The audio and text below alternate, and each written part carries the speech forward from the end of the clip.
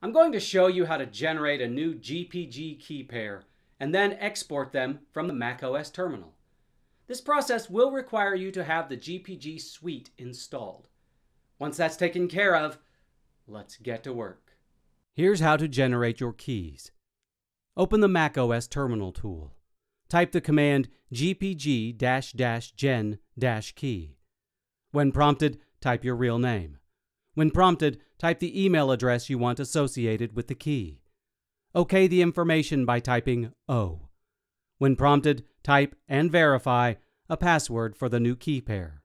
If you want to create a new key with more information, you should issue the command gpg dash dash full dash generate dash key.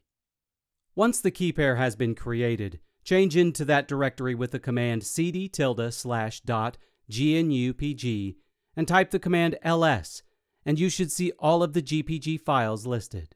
You can export your private key from the command line. To do that, go back to the terminal window and locate the key you want to export with the command gpg list secret keys.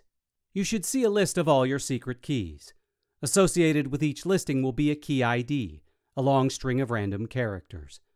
Copy that string down and then issue the command gpg dash dash export dash secret keys id less than my dash private key dot asc, where id is the key ID.